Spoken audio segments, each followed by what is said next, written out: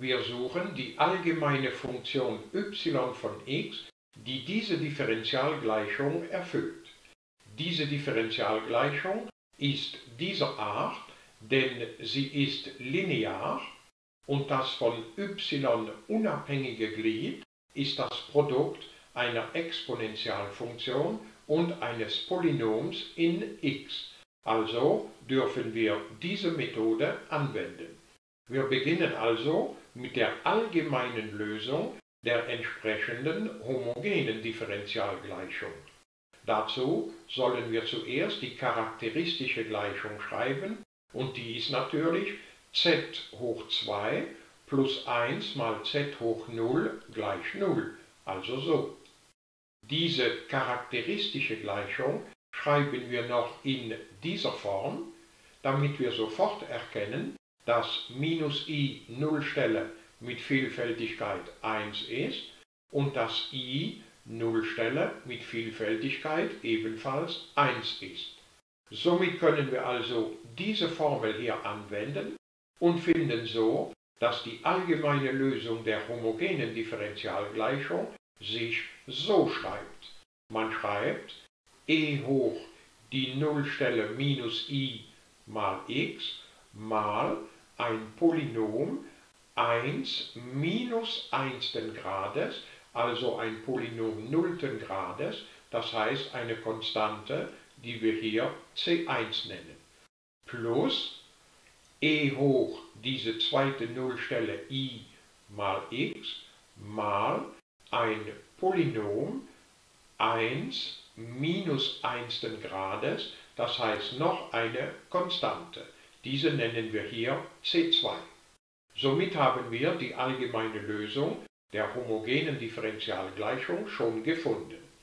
Die Wissenschaftler schreiben diese Lösung aber gerne in eine andere Form, da e hoch i mal x dasselbe ist wie Cosinus von x plus i mal Sinus von x und e hoch minus ix dasselbe ist wie Cosinus von minus x plus i mal Sinus von minus x. Im trigonometrischen Kreis erkennen wir sofort, dass der Cosinus von minus x dasselbe ist wie der Cosinus von x und dass der Sinus von minus x dasselbe ist wie minus Sinus von x, also so. Wenn wir hier die Zahl c1 auf diese Klammer verteilen und hier die Zahl c2 auf diese Klammer verteilen, und anschließend Cosinus von x ausklammern, sowie auch Sinus von x, so erhalten wir diese allgemeine Lösung der homogenen Gleichung. Hier steht eine beliebige Konstante mal Cosinus von x plus eine beliebige Konstante mal Sinus von x. Diese zwei beliebigen Konstanten nennen wir C1 Sternchen und C2 Sternchen. Also schreibt sich die allgemeine Lösung der homogenen Differentialgleichung in dieser Form. Wir werden diese Form jetzt hier übertragen, dort festhalten und benennen die zwei Konstanten neu mit C1 und C2. Somit haben wir die allgemeine Lösung gefunden und können jetzt noch eine partikuläre Lösung der nicht homogenen Differentialgleichung bestimmen und das durch diese Formel. Eine partikuläre Lösung schreibt sich also in diese Form. Dieses e hoch 2x wurde einfach von da abgeschrieben. Hier haben wir ein Polynom p Sternchen in x ersten Grades, weil dieses angegebene Polynom ebenfalls ersten Grades ist und der Exponent von x ist 0, das ist die Vielfältigkeit von dieser 2 als Nullstelle der charakteristischen Gleichung. Aber die 2 ist gar keine Nullstelle der charakteristischen Gleichung. Die zwei Nullstellen sind minus i und i. Da 2 also keine Nullstelle ist, ist die Vielfältigkeit von 2 als Nullstelle 0. Deshalb haben wir also diese partikuläre Lösung der nicht homogenen Differentialgleichung. Sie schreibt sich 1 mal ein Polynom ersten Grades, also a mal x plus b, mal e hoch 2x, also so. Jetzt brauchen wir nur noch die numerischen Werte von a und b herauszufinden. Um die zu finden, drücken wir einfach aus, dass dieses yp Lösung der nicht homogenen Differentialgleichung ist. Also so.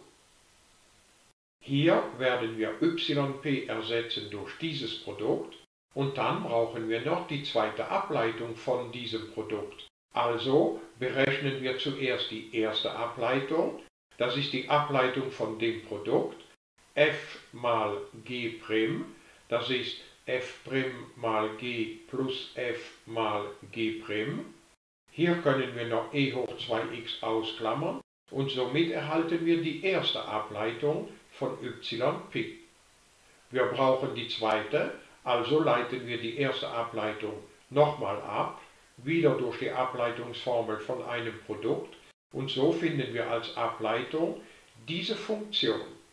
Hier können wir wieder e hoch 2x ausklammern und das Ganze faktorisiert sich dann in dieser Form.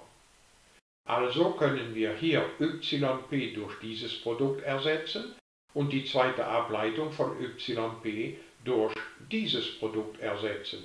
Und somit erhalten wir diese Gleichung, die wir noch durch e hoch 2x kürzen können.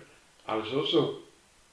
Dieses Polynom hier links, Polynom in x, können wir noch etwas einfacher schreiben und so sehen wir deutlich die Gleichheit von zwei Polynomen. Zwei Polynome können aber nur dann gleich sein, wenn die Vorzahlen der jeweiligen Potenzen gleich sind. Das bedeutet, die Vorzahl von x hoch 1 links vom Ist-Zeichen, das heißt 5a, muss gleich sein zur Vorzahl von x hoch 1 rechts vom Ist-Zeichen, das heißt 1.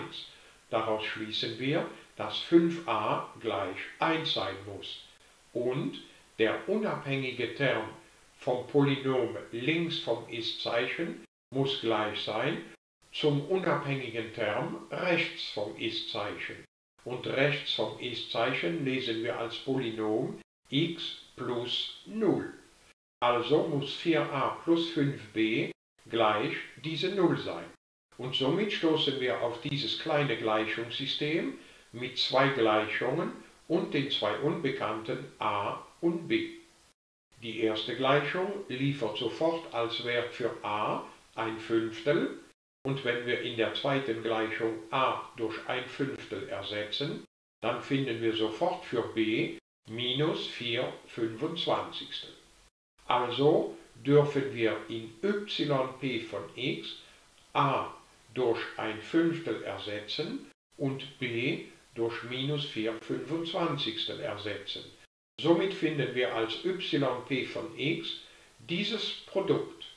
Produkt, das wir sofort hier festhalten. Und jetzt sind wir fast am Ende der Übung angelangt, denn die allgemeine Lösung der nicht homogenen Differentialgleichung schreibt sich als Summe der allgemeinen Lösung der homogenen Gleichung und einer partikulären Lösung der nicht homogenen Gleichung. Deshalb ist die allgemeine Lösung von dieser Differentialgleichung gleich zu dieser Summe. Und die Übung ist beendet.